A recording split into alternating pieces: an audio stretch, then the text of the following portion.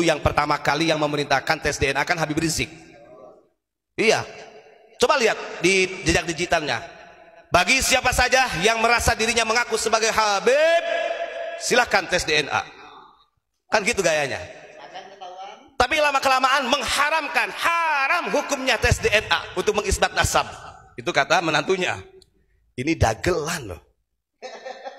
Dagelan. Begini, mungkin ngapunten ini tidak mau rasa hormat. Sebenarnya ketika memang tes DNA kemudian mau itu haplogrupnya G atau apa saja itu sebenarnya tidak akan menjadi masalah. Sekalipun andai kata keturunan Yahudi gitu, Pak. Kalau memang orang alim punya ketakwaan tetap tidak akan luntur.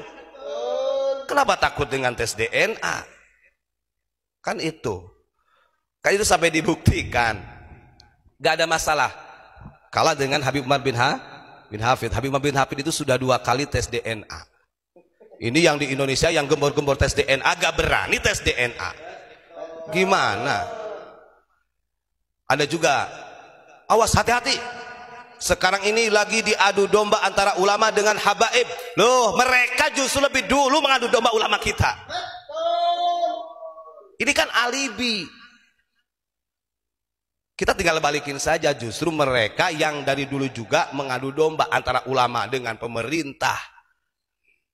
Coba lihat jejak digitalnya mereka dari kelompok-kelompok mereka. Oh, masya Allah.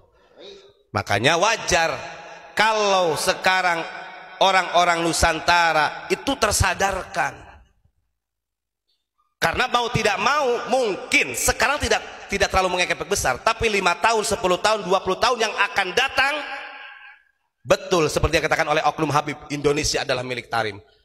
Itu pasti terjadi.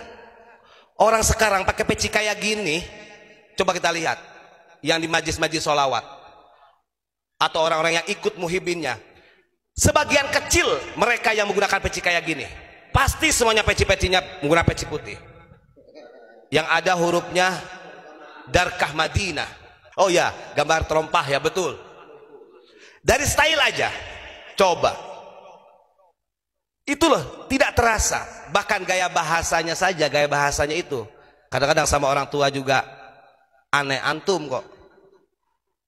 Sehingga bahasa-bahasa kulturnya kita itu nggak dipa, nggak dipakai. Banyak sebenarnya.